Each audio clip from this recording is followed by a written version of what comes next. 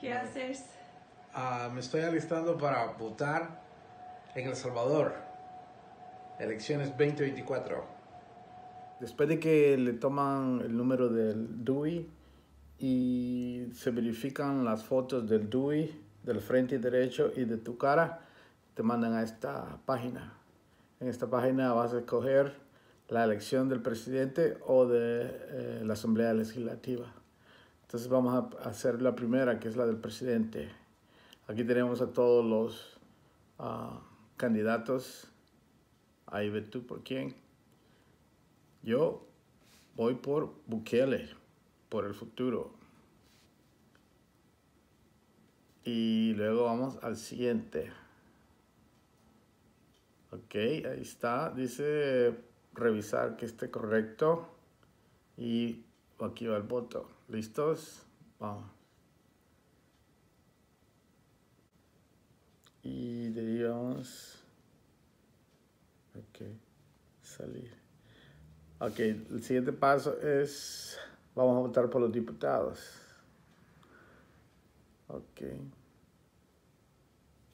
Los diputados, nuevas ideas. Aquí están todos los que tú puedes votar. Vamos a ver aquí. Bandera. puedes votar uno por uno o puedes votar por todos. Lo que tú quieras hacer. aquí, aquí están todos los candidatos a votar.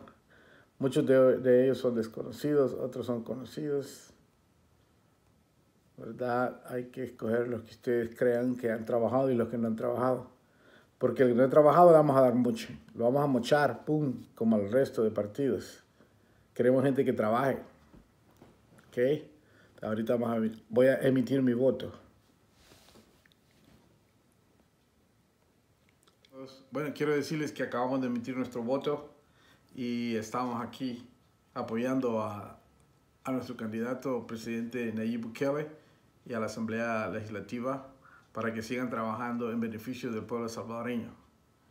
Gracias a todos y todos los uh, salvadoreños residentes en el exterior pueden votar.